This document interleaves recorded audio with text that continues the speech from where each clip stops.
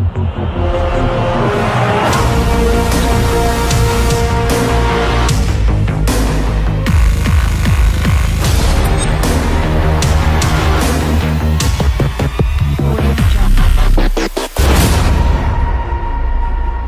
தமிழ் மக்கள் அனைவருக்கும் இனிமையான வணக்கம். நான் கார்த்திக் பேசிக்கிட்டு இருக்கேன். இப்போ நம்ம என்ன கிளாஸ் பார்க்க போகிறோம் அப்படின்னு பார்த்தீங்கன்னா பிசி போலீஸ் கான்ஸ்டபிள் நடைபெற இருக்கக்கூடிய தேர்வுகளுக்காக ரீசனிங்களை அடி எடுத்து வச்சுருக்கிறோம். அதன் அடிப்படையில் இப்போ நம்ம பார்க்கக்கூடிய கிளாஸ் என்ன அப்படின்னு பார்த்தீங்கன்னா ரத்த உறவுகள் பிளட் ரிலேஷன்ஷிப் ஸோ கண்டிப்பாக மிக முக்கியமாக கேள்விகள் கேட்டுக்கிட்டே இருக்கிறாங்க. அந்த பிளட் ரிலேஷன்ஷிப்பை பொறுத்த வரைக்கும் ஓரளவு இல்லை தெளிவாகவே ஒரு கான்செப்டை புரியிற மாதிரி உங்களுக்கு சொல்லிக் கொடுக்க போகிறோம் ஸோ சில பேசிக் கான்செப்ட் மட்டும் தெரிஞ்சுக்கிட்டிங்கன்னா கண்டிப்பாக உங்களால் ஆன்சர் பண்ணிட முடியும். ஏன் அப்படின்னு பார்த்தீங்கன்னா ரிலேஷன்ஷிப் வந்து இல்லாமல் நம்ம யாருமே வாழ முடியாது. அம்மா அப்பா தங்கச்சி சித்தப்பா பெரியப்பா ஒன்று விட்ட சித்தப்பா அப்புறம் வந்து மைத்துனர் மைத்துனி அப்புறம் அத்தை மாமா பெரியம்மா இந்த மாதிரி எல்லா ரிலேஷன்ஷிப் எல்லாருக்குமே தெரியும்.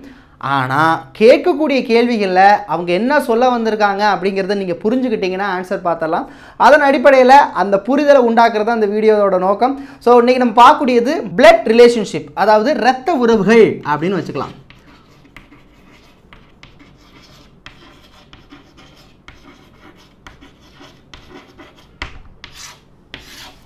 ஆரம்பிக்கிறதுக்கு முன்னாடி ஸ்டூடெண்ட்ஸ் உங்களுக்கு கொஸ்டின் பேப்பர் சென்ட் பண்ணியாச்சு. இந்த கிளாஸை கவனிச்சுட்டு அதில் இருக்கக்கூடிய சா ப்ராப்ளமை சால்வ் பண்ணி பாருங்கள் ஈஸியாக உங்களுக்கு புரிஞ்சிடும் சரிங்களா? ஸோ கொஸ்டின்ஸ் ஃபஸ்ட் நான் எடுத்துக்கிறேன். ஏன்னா கொஸ்டின் ரொம்ப முக்கியம். சரி. பிளட் ரிலேஷன்ஷிப்பில் பிசியை பொறுத்த வரைக்கும் எந்த மாதிரி கேள்விகள் கேட்கலாம் அப்படிங்கிறத முதல்ல ஃபஸ்ட்டு நம்ம கிளியர் பண்ணிடுவோம். ரெண்டே டைப் தான். ஓகேங்களா உங்களுக்கு டைப் ரெண்டே டைப் அதில் உங்களுக்கு நான் புரிய வைத்து விடுவேன். எப்படி? ஃபஸ்ட்டு டைப் எந்தெந்த மாதிரி கேள்வி கேட்கலாம் அப்படின்னா ஒரு ஆண். ஒரு புகைப்படத்தில் ஒரு பெண்ணை பார்த்து இவள் என்னுடைய அம்மாவின் அம்மாவின் ஒரே மகள் அப்படின்னு சொல்லலாம்.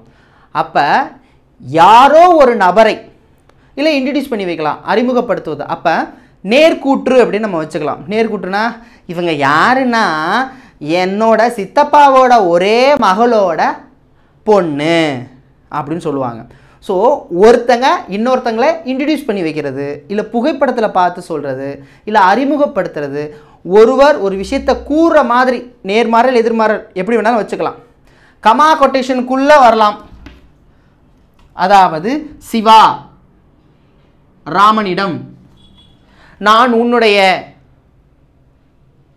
அத்தையின் ஒரே மகனின் மகன் சொல்லலாம் ஃபஸ்ட் டைப் புகைப்படத்தை கீதா பார்த்து இவள் என்னுடைய மாமியாரின் மகன் சொல்லலாம். இல்லைனா ஒருவரை பார்த்த அவள் தன்னுடைய மாமனாரின் சித்தப்பா என்று கூறினார். இந்த மாதிரி ஒருத்தருங்களை இன்ட்ரடியூஸ் பண்ணி வைக்கிற கான்செப்டில் அதில் தான் வரும். ரெண்டாவது டைப் என்ன அப்படின்னா ஏயின் அப்பா பி பியின் சகோதரர் சி சியின் தாய் டி அப்போ டிக்கு ஏ என்ன உறவு முறை இல்லை சிவாவின் தங்கை ராதா. ராதாவின் அப்பா ராமு. ராமுவோட மனைவி என்ன? நம்மளா வச்சுக்க வேண்டியதா மல்லி. ஸோ ஒருத்தவங்களோட ரிலேஷன்ஷிப்பை மட்டும் டக் டக் டக்குன்னு சொல்லி ஏதாவது ஒரு வேரியபிளை வச்சு கொடுத்துட்டு இவங்களுக்கு இவங்க என்ன உறவு முறை அப்படின்னு கேட்டாங்கன்னா ரெண்டாவது டைப் ஃபஸ்ட்டு டைப்புங்கிறது இன்ட்ரடியூஸ் பண்ணி வைக்கிறது. இப்போ எல்லாத்துலேயும் உங்களுக்கு பேசிக்காக எந்தெந்த மாதிரி கேள்விகள் கேட்கலாம் அப்படின்னு நம்ம பார்த்துருவோம். சாம்பிளுக்கு புரிதலை உண்டாக்கும் அடிப்படையில். சரிங்களா? சரி. இப்போ நான் ஃபஸ்ட்டு டைப்பை எடுத்துக்க போகிறோம் ஃபஸ்ட் டைப்னா என்ன சொன்னேன்? அறிமுகப்படுத்துதல் அப்படின்னு சொன்னேன். ஓகேவா புரியுதானே சரி. இதை நான் அப்போ அழிச்சிட்றேன் சரியா? சரி. ஃபஸ்ட் கொஸ்டின் கீதா என்ற பெண் ஒரு ஆணை அறிமுகப்படுத்தி பின்வருமாறு கூறினாள். சரி. நல்லா கவனிச்சுக்கோங்க. முதல்ல இதை தெரிஞ்சுக்கணும். ஒரு கேண்டிடேட் அப்படின்னா அந்த கேண்டிடேட்டை எழுதிக்க வேண்டியதுதான். கீதா அப்படின்னாலே F for female M for male சரிங்களா? கீதா ஒரு ஆணை அறிமுகப்படுத்தி. யாரை? ஒரு ஆண். அப்போ மேல் சரி. என்ன சொல்கிறான்னு பார்த்துக்கோங்க. இந்த அறிமுகப்படுத்துறதுல நீங்கள் எதை எதை எடுத்துக்கணும்னு கிளியராக சொல்லிடுறேன். அவங்க சொன்ன ஸ்டேட்மெண்ட் அவன் எனது தாயின் தாய்க்கு.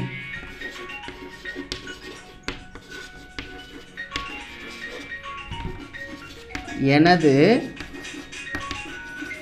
தாயின் தாய்க்கு தாயின் தாய்க்கு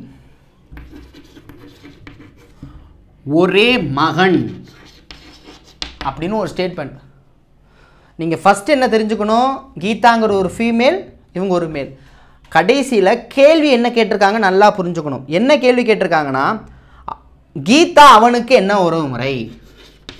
கீதா அவனுக்கு. இந்த இக்கு இக்குன்னு முடியும். நான் கடைசியில் சொல்கிறேன் இது எப்படி கொஸ்டின்ஸ் எடுத்துக்கிறதுன்னு. ஃபஸ்ட்டு அவன் எனது தாயின் தாய்க்கு. அதோட நிறுத்திடணும்.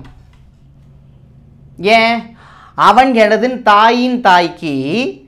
அப்படி சொல்லி முடிச்சுட்டு ஒரே மகன் சொல்கிறாங்க இப்போ அவன் எனதுலேருந்து ஆரம்பிக்குது. ஸ்டெப் பை ஸ்டெப்பாக போகணும். எனது தாயின் இப்போ யார் பேசுகிறா கீதா. கீதாவோட தாயின் தாய் முதல்ல கீதாக்கு என்ன வேணும்? அந்த மாதிரி ஃபாலோ பண்ணணும். தாயோட தாய் எனக்கு பாட்டி. கரெக்ட் என் பாட்டி என் பாட்டியின் ஒரே மகன் தான் இவன். என் பாட்டியோட அம்மா தான் என் அம்மா. அப்போ பாட்டிக்கு அப்பா என்னோட மாமா. அப்போ இவங்களுக்கு இவங்களுக்கும் மாமா மருமகள் சொந்தம். அதை முதல்ல கிளியராக புரிஞ்சுக்கணும்.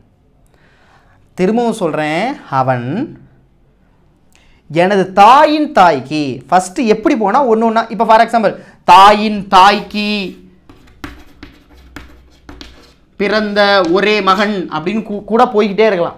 ஸ்டெப் பை ஸ்டெப்பாக எனது தாயின் தாய்க்கு தாயின் தாய் எனது பாட்டி பாட்டிக்கு பிறந்த ஒரே மகன்? எனது மாமா. சொல்லலாம் இல்லையா? இதை இப்படி கூட அவங்க கேட்கலாம். ஸோ தாயின் தாய்க்கு ஒரே மகன். தாயின் தாய்னா என்னோட பாட்டி. என் பாட்டியோட மகன். என் பாட்டியோட மகனா நான் எனக்கு தான் தாய். அப்போ என் பாட்டிக்கு ஒரு ஒரு ஆம்பளை பிள்ளை ஒரு பொம்பளை பிள்ளை. அந்த பொம்பளை பிள்ளைக்கு பிறந்தது தான் நான் கீதா. அப்புறம் ஒரு ஆம்பளை பிள்ளை அந்த ஆம்பளை பிள்ளை தான் இது. அப்போ இவங்க ரெண்டு பேரும் மாம மருமகள். இப்போ கீழே ஆப்ஷனில் என்னென்ன கேட்டிருக்கலாம்னா கீதா அவளுக்கு என்ன உறவு முறை? இதை நிறைய பேர் இதெல்லாம் தெரிஞ்சிடும் ஆனால் கேள்வியை புரிஞ்சுக்க மாட்டாங்க. கீழே இருக்கும். மாமன் மருமகள். இப்படி இருக்கும். இது ரெண்டில் எதுன்னு குழப்பிக்குவீங்க. அதான் கேள்வி நல்லா புரிஞ்சுக்கணும். அவனுக்கு இந்த இக்கு இருக்குல்ல? இக்குன்னு முடியுதுல்ல? அவனுக்கு. அவன் என்னன்னு கூப்பிடணும் மட்டும் ஞாபகம் ஸோ அவனுக்கு கீதா என்ன வேணும்? அவனுக்கு கீதா என்ன? மருமகள். எனது மருமகள். அவனுக்கு கீதா என்ன வேணும்? மருமகள். அவனுக்கு கீதா என்ன உறவு? மருமகள் அப்படிங்கிறது தான் கரெக்டு ஒருவேளை இந்த அவருக்கு ஐ மீன் கீதாவுக்கு அவர் என்ன வேணும்? கீதாக்கு. ஸோ கீதாவுக்கு அவர் என்ன ஒரு முறை? என்னது? கீதாவுக்கு என்ன ஒரு மாமா? ஓகேவா புரியுதா? சரி. இப்போ அடுத்து தீபிகா புகைப்படத்தில் ஒரு ஆணை காட்டி ஓகே ஃபைன் தீபிகா ஒரு ஆணை காட்டி சரி. என்ன சொல்கிறாங்கன்னா என்னுடைய தாத்தாவினுடைய ஒரே மகனின் மகன். அதில் அவங்க என்ன சொல்கிறாங்க அதை நல்லா புரிஞ்சுக்குங்க. என்னுடைய தாத்தாவின் ஒரே மகனின் மகன் அப்படின்னு சொல்கிறாங்க சொல்கிறது யார்? தீபிகா அப்படின்னு ஒரு பொண்ணு. முதல்ல என்னோட தாத்தாவோட ஒரே மகன். என் தாத்தா அப்படிங்கிறது என் அப்பாவோட அப்பா தான் என் தாத்தா. என் தாத்தாவோட ஒரே மகன்னா அது என் அப்பா. அப்படி தானே என் தாத்தாவோட ஒரே மகன். இந்த இடத்துல அதான் ட்விஸ்ட்டு ஒரே மகன் அப்படின்னா ஒருத்தர் தான்.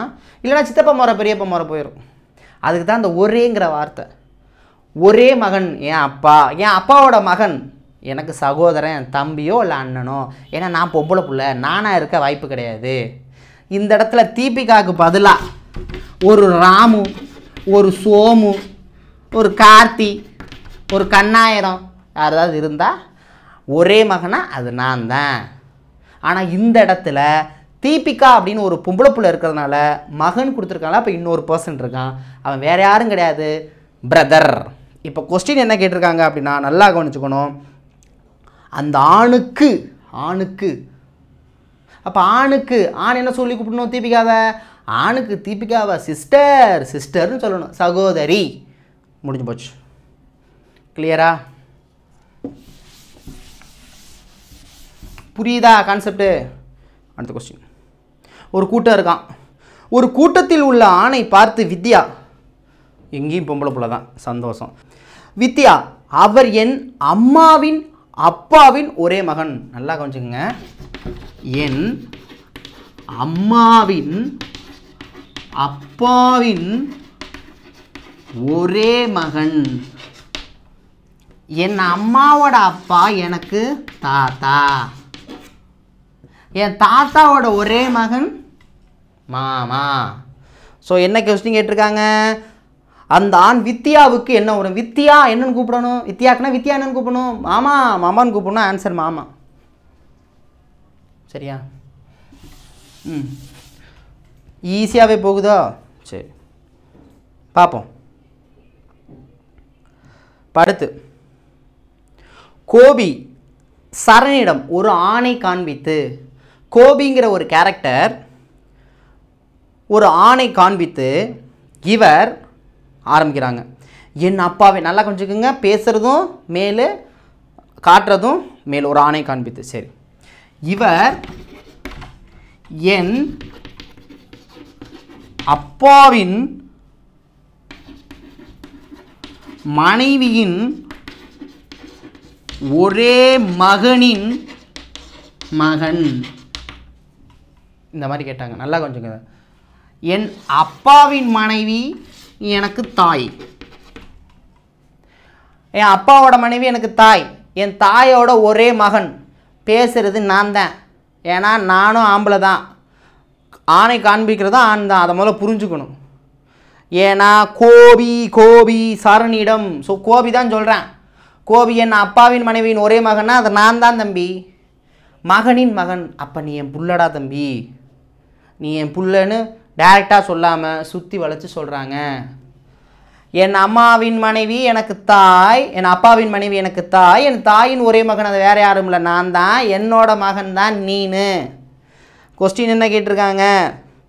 அந்த அந்த ஆணுக்கு கோபிக்கு கோபி என்னன்னு கூப்பிடணும் அவனு? கோபி தான் பேசுகிறான் மகனே மகனேன்னு கூப்பிடணும். கான்செப்ட் முடிஞ்சு. கிளியரா ஸோ இந்த மாதிரி தான் கேள்விகள் கேட்பாங்க. பிசியில் ரொம்பலாம் போட்டு நீங்கள் குழப்பிக்கொள்ள வேண்டாம். சரிங்களா? சரி இதை பார்ப்போம். சீதா ஒரு ஆணிடம். சீதா. ஃபீமேல் ஒரு ஆணிடம் சொல்கிறாங்க உங்கள். நல்லா கொஞ்சிக்கோங்க உங்கள். மேலே குறிக்குது. மேலே குறிக்குது. உங்கள் அம்மாவின் கணவரின் சகோதரி. அடடா. உங்கள் அம்மாவின் கணவரின் சகோதரி என் அத்தை. இந்த கடைசியில் சொல்லிட்டு என் அத்தை என் மாமா என் சித்தப்பா அப்படின்னா ஒரு கோடு போட்டுறணும். முதல்ல இதை முதல்ல க கரெக்டாக புரிஞ்சுக்கணும். உங்கள் மேல் கேண்டிடேட் அவரோட அம்மாவோட கணவர்னா அவருக்கு அப்பா. அப்பாவோட சகோதரி. அப்பாவோட சகோதரி என்ன வேணும்? அத்தை. அத்தை தானே? அத்தை. ஏன் அத்தை யாருன்னா? ஓ அத்தை. முடிஞ்சு போச்சா? ஓ அத்தை யாருன்னா? ஏன் அத்தை? அப்போ ரெண்டு பேருக்கு என்ன வரும் சகோதரன் சகோதரி. கேள்வி என்ன கேட்டிருக்காங்க? அந்த ஆண் சீதாவிற்கு சீதா என்னன்னு கூப்பிடணும்? சகோதரா சகோதரான்னு கூப்பிடணும். சார் அதில் ஆப்ஷன்லாம் அண்ணன் இருக்குது தம்பின்னு இருக்குது என்ன சார்? அந்த மாதிரிலாம் கேட்க மாட்டாங்க. சகோதரன் சகோதரின்னு தூய தமிழில் அழகாக கொடுத்துருவாங்க. சரிங்களா? கிளியரா தான் தம்பி அண்ணன் மட்டும் தமிழ் இல்லையா அப்படின்னு கேட்கக்கூடாது. சகோதரன் அப்படின்னா அதில் தம்பி வந்துடும் அண்ணன் வந்துடும் அதுக்காக சொன்னேன். கமெண்ட் செக்ஷனில் போடுவீங்க. தெரியும். இவ்வளோதாங்க இதுக்கு மேலே இதில் போட்டு ட்விஸ்டெல்லாம் கிடையாது. இதுதான் ஃபஸ்ட்டு டைப் இதை நீங்கள் ஓரளவு புரிஞ்சுக்கிட்டீங்கன்னா இன்னும் ரெண்டு மூணு சம் கூட பார்ப்போமா? இன்னும் ஒரு சம் பார்ப்போம். சரி. ஒரு ஆணை பார்த்து மலர். மலர் சொல்கிறாங்க இவர் எனது கணவனுடைய ஒரு ஆணை பார்த்து மலர் அப்போ ஃபீமேல் மேலே பார்த்து ஓகே இவர் இவர் யார்? எனது கணவருடைய மனைவியின் சூப்பர் கொஸ்டின் மனைவியின் மகளுடைய சகோதரனின் மகன். எனில் மலருக்கு இக்கு வந்துருச்சு. அந்த ஆண் என்ன உறவு முறை? மலர் சொல்கிறாங்க இவர். எனது கணவருடைய மனைவி அப்படின்னா யார்? மலர் தான் மலர் தான் சொல்கிறாங்க எனது கணவருடைய மனைவினா அது நான் தான் அப்போ எனது கணவருடைய மனைவி புரியுதா?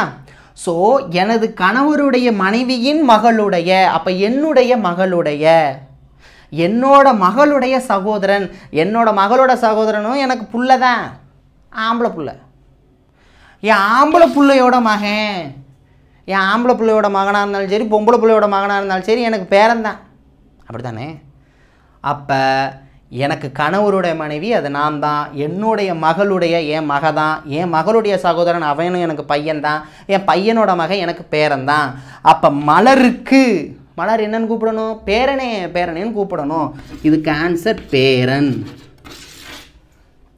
கிளியரா புரிகிறதா? புரியணும். இப்போ நம்ம பார்க்க போகிறது ரெண்டாவது டைப் ஓகே ரெண்டாவது டைப்பு ரொம்ப ரொம்ப ஈஸி ரொம்ப ஈஸி சரி பார்ப்போம். இப்போ இந்த கேள்வி பாருங்களேன். ஏயின் கணவர் பி நல்லா கவனிச்சுக்கோங்க. ஏயின் கணவர் பி சி மற்றும் ஏயின் தாய். டி அப்போ பி பிக்கு டி என்ன உறவுமுறை? அப்போ பிக்குனா பி என்னன்னு கூப்பிடணும். அப்படி ஞாபகம் வச்சுக்கோங்க. சரிங்களா? டிஏ இப்போ இந்த மாதிரி கொஸ்டினை ஃபஸ்ட்டு என்ன பண்ணணும்? நல்லா கவனிச்சுக்கோங்க. ஒரு ஃபார்முலா படி ஒரு டயக்ராம் போட்டால் முடிஞ்சு போச்சு. எந்த கொஸ்டின் கேட்டாலும் ஆன்சர் பண்ணிடலாம். எப்படி? இப்படி. இப்போ பாருங்கள் ஏ ஏயின் ஏபி கணவர்னு சொல்லியிருக்காங்க. இப்போ நான் என்ன பண்ணுறேன் கணவருக்கு நான் இந்த சிம்பிள் யூஸ் பண்ணுறேன் அதாவது பேர் பேர் சிப்ளிங்ஸ் வந்து நான் இப்படி யூஸ் பண்ணுறேன் நானாக வச்சுக்கிறதா? இது சிப்ளிங்ஸ் இது பேர் ஓகே ஸோ இவங்க ரெண்டு பேரும் ஏவோட கணவர் பி அப்போ ஏவோட கணவர் பினா இவங்க மேலு இவங்க ஃபீமேல் அதை புரிஞ்சுக்கணும். கேள்வி கேட்கலாம். புரிஞ்சுக்கணும். இப்போ சி மற்றும் ஏயின் தாய் டி அப்போ நல்லா கொஞ்சிக்கோங்க ஏவோட தாய். ஏவோட தாய். ஏவோட தாய் யார்? டி யாருக்கும்? சிக்கும் தான் அப்போ இவங்களுக்கு இவங்க மகளா? இவங்களுக்கு இவங்க தாய்னா மகள். சரி. இப்போ பிக்கு டி பியை டி என்னன்னு கூப்பிடணும். ஆமாம் பி டி என்னன்னு கூப்பிடணும். அப்படி தானே பிடிஏ இப்போ நல்லா கவனிச்சுங்க இப்போ நான் சொல்கிறேன் பாருங்கள் இது மேல். என் பொண்டாட்டியோட அதான் என் ஒய்ஃபோட என் ஒய்ஃபோட தாய். என் ஒய்ஃபோட தாய் என்னது? என்ன வரும்? அத்தை ஸோ அத்தை தான் ஆன்சர் கரெக்டு இப்போ இது ஏன் சார் கொடுத்தாங்க? நான் சும்மா கொடுக்குறாங்கோ? இதில் எந்தெந்த மாறிகள் கேள்விகள் கேட்கலான்னு ஒரே இதில் சொல்லிடுறேன் இப்போ இந்த இடத்துல பிக்கு சி என்ன உறவு முறைன்னு கேட்குறாங்கன்னு வைங்க. இப்படி போகணும். பொண்டாட்டி ஒய்ஃபோட அத்தை அத்தையோட பையனாக இருக்கலாம் இல்லை பொண்ணாக இருக்கலாம். இந்த இடத்துல இந்த சி மேலா ஃபீமேலான்னு கொடுக்கல. தாயின்னு சொன்னதுனால இவங்க ஃபீமேல் தெரிஞ்சு போச்சு. ஆனால் இது மேலாலும் தெரியல ஃபீமேலாலும் தெரியல. அப்போ என்ன சொல்லலாம்? மச்சினிச்சியாக இருக்கலாம். அப்படி இல்லை அப்படின்னா மச்சானா இருக்கலாம். நான் சொல்கிறது புரியுதா? ஏன்னா அத்தையோட அத்தையோட இது அத்தையோட பிள்ளை தானே? என் ஒய்ஃபோட அம்மாவோட புள்ள. இது பொம்பளை பிள்ளையாக இருந்தால் மைத்துணி மச்சினிச்சி. ஓகே மச்சினிச்சி. ஆம்பளை பிள்ளையாக இருந்தால் மச்சான். கிளியர் இந்த இடத்துல தான் சிக்கல் வரும். ஆப்ஷனில் கொடுக்கலாம். மச்சினிச்சி மைத்துணி மைத்துனி மச்சான். மைத்துணி ஆர் மச்சான். கேட்கலாம். ஸோ மேலாக ஃபீமேலாக அதான் ப்ராக்கெட்டில் போட சொல்கிறேன் இப்போ சிக்கு பி என்ன ஒரு முறை கேட்கலாமா? சிக்கி பி என்ன? இது இது ஆணாக இருந்தாலும் பெண்ணாக இருந்தாலும் என்ன வரும்? ஒரு பொம்பளை பிள்ளையா இருக்குன்னு வச்சுக்கோங்களேன். அக்கா ஹஸ்பண்ட் மாமா. அக்கா ஹஸ்பண்ட் மாமா. இதுவே பிரதராக இருந்துச்சுன்னா மச்சான் தான் கூப்பிடுவாங்க. அப்படி தானே மச்சான் கூப்பிடுவாங்க. அதுக்கும் மாமா தான் கூப்பிடுவாங்க. அது வயசு வித்தியாசம். ஈக்குவலாக இருந்தால் மச்சான் கூப்பிடுவாங்க பெரிய வயசு இருந்தால் மாமான்னு கூப்பிடுவாங்க. மாமாவே ஃபிக்ஸ் பண்ணிக்கோங்க. கிளியரா ஸோ இந்தந்த மாதிரி தான் அதில் கேள்வி கேட்கலாம். அதுக்கு தான் சொல்கிறேன் நீங்கள் டயக்ராம் ஒன்ஸ் போட்டுட்டிங்கன்னா எந்த கேள்விகளுக்கும் அழகாக ஆன்சர் பண்ண முடியும். ஓகே? ஓகேவா? சரி. அடுத்த கொஸ்டின் இன்னும் ரெண்டு மூணு கொஸ்டின் இன்னும் ஒரே ஒரு கொஸ்டின் பார்த்தலாம் இப்போ ஒரே கொஸ்டினில் நிறைய கேள்வி கேட்டிருக்காங்க. பார்த்தலாமா சரி. ஃபஸ்ட்டு இங்கே எழுதிக்கிறேன். சியின் தாய் ஏ ஏயின் கணவர் இ. ஏயின் கணவர் இ. ஏயின் சகோதரர் டி. டியின் கணவர் பி. இதை வச்சு கிட்டத்தட்ட ஒரு நாலு கொஸ்டின் கேட்டிருக்காங்க. சரி முதல்ல நம்ம டயக்ராம் போடுவோம். நல்லா கவனிச்சுக்கோங்க. ஏயின் கணவர் பி அப்போ ஏஇ e. கணவர் ஏன்னா இவங்க மேலு இவங்க ஃபீமேல் இதை குறிச்சிட்டேன். சியின் தாய் ஏ நல்லா கவனிச்சுக்கோங்க. சியின் தாய். இப்படி பார்த்துக்கலாம் சியோட தாய். இவங்க. சியோட தாய் இவங்களாக இருந்தால் சியோட தந்தை இவங்கள தான் இருப்பாங்க.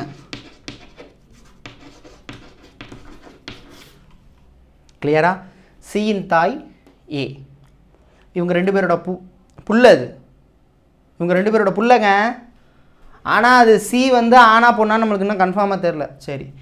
ஏயின் சகோதரர் டி ஏயின் சகோதரர் டி ஏயோட சகோதரர். அப்போ இவங்க மேல். கிளியர் இல்லை நீங்கள் சகோதரன் கூட எழுதிக்கங்க. ஓகே சியின் கணவர் பி சி இங்கே இருக்காரு? சியோட கணவர். யாரு? பி அப்போ சியோட கணவர் பீனாக இருந்தால் அப்போ இவங்க மேலாக இருந்தால் இவங்க ஃபீமேலாக தான் இருக்கணும். அப்போ பிறந்தது பொம்பளை பிள்ளை. அப்படி. அப்போ ஏக்கு ஈக்கும் e பிறந்த பொம்பளை பிள்ளை வேறு யாரும் இல்லை சி தான். இந்த பொம்பளை பிள்ளைய பிக்கு கல்யாணம் பண்ணி கொடுத்துருக்குறாங்க இந்த ரெண்டு பேரண்ட்ஸும் இந்த இடத்துல இவங்களுடைய பிரதர் தான் டி கிளியர் சரி. இங்கே பேர் அப்படிங்கிறது ஏஇயும் e பேர் பிஇசியும் பேர் இவர் மட்டும் இப்போ அவன் கல்யாணம் பண்ணாமல் இருக்கார். சந்தோஷம். இப்போ வரிசையாக கேள்விகள் கேட்டால் அடித்து நவுத்திடலாம் பார்த்துடலாமா பார்த்துருவோம் இப்போ என்ன இப்போ? ஏக்கு பி என்ன ஒரு முறை? நல்லா கொஞ்சிக்கோங்க. ஏக்கு பி அப்போ ஏ பி என்னன்னு கூப்பிடணும். நல்லா கொஞ்சிங்க ஏ பி என்னன்னு கூப்பிடணும். ஏ பி என்னன்னு கூப்பிடணும். இவங்க ஏ மகள் மகளுடைய கணவர். மருமகனையும் கூப்பிடணும். கரெக்ட் மருமகன். முடிஞ்சு போச்சு. அடுத்து. சீக்கி. இ சி இ என்னன்னு கூப்பிடணும். சி. எங்கே இருக்குது சி இ என்னன்னு கூப்பிடணும். அப்பான்னு கூப்பிடணும். சரி. டிக்கு ஏ என்ன உறவு? டிஏ என்னன்னு கூப்பிடணும். டிஏ என்னன்னு கூப்பிடணும். நேராகவே இருக்குது டிஏ சகோதரி. அதான் போட்டிருக்கு. இன்னும் ஒன்று இருக்குது ஈக்கு e டி என்ன உறவு முறை? E ஈக்கு டி இடி e, என்னன்னு கூப்பிடணும். இடி என்னன்னு கூப்பிடணும். ஒய்ஃபு ஒய்ஃபோட பிரதர் மச்சான். அதான் மைத்துனர். இதுக்கு மேலே அங்கே உங்களுக்கு விளக்கம் வேணும்? இதுக்கு மேலே ரிலேஷன்ஷிப்பில் கொஷின் கிடையாது. பிசிக்கு இதான் அவ்வளோதான் ஈஸி ஸோ டயக்ராமை கரெக்டாக போட்டு நீங்கள் சால்வ் பண்ணிங்கன்னா ஈஸியாக ஆன்சர் பண்ணிடலாம். இந்த டயக்ராம் அப்படிங்கிறது ரொம்ப முக்கியம். நல்லா கொஞ்சிக்கோங்க எல்லாருமே ஃபே மேலாக ஃபீமேலான்னு தெரிஞ்சு போச்சு. எந்த கேள்வி கேட்டாலும் ஆன்சர் பண்ணிடலாம். இது அவங்க கேட்ட கொஸ்டின் நீங்கள் ஆயிரம் கொஸ்டின் கேட்கலாம். டிக்கு e என்ன ஒரு முறை டிக்கு ஏ டிக்கு சி டிக்கு எல்லா ரிலேஷன்ஷிப்பும் ப்ராபபிள் ப்ராபபிலிட்டியில் போட்டு நிகழ்தகவுல போட்டு எத்தனை பாசிபிளோ அத்தனை பாசிபிள் நீங்கள் ஆன்சர் பண்ணிக்கலாம். சரிங்களா? சரி thank you thank you so much உங்களுக்கு ரிலேஷன்ஷிப் கிளாஸ் ஓவர் ஆயிடுச்சு. ரிலேஷன்ஷிப் உங்களுக்கு கொஸ்டின்ஸ் கேட்டிருக்கேன். அந்த கொஸ்டினை சால்வ் பண்ணுங்கள் தயவு செஞ்சு போட்டு பாருங்கள் நீங்கள் எவ்வளோ தூரம் சால்வ் பண்ணுறீங்களோ அப்போ தான் ஆன்சர் கண்டுபிடிக்க முடியும். பார்க்கும்போது ஈஸியாக இருக்கும். ஆனால் சால்வ் பண்ணும்போது கண்டிப்பாக நம்மளுக்கு டவுட்ஸ் வரும். அதை நீங்கள் ஸ்டூடெண்ட்ஸ் டிஸ்கஷன் பண்ணுங்கள் டிஸ்கஷன் பண்ணி இந்த டாப்பிக்கை முடிங்க. அடுத்த கிளாஸ் நாளை சந்திக்கலாம். அதுவரை உங்களிருந்து விடைபெறுவது உங்கள் அன்பு சகோதரன் கார்த்திக். நன்றி. வணக்கம்.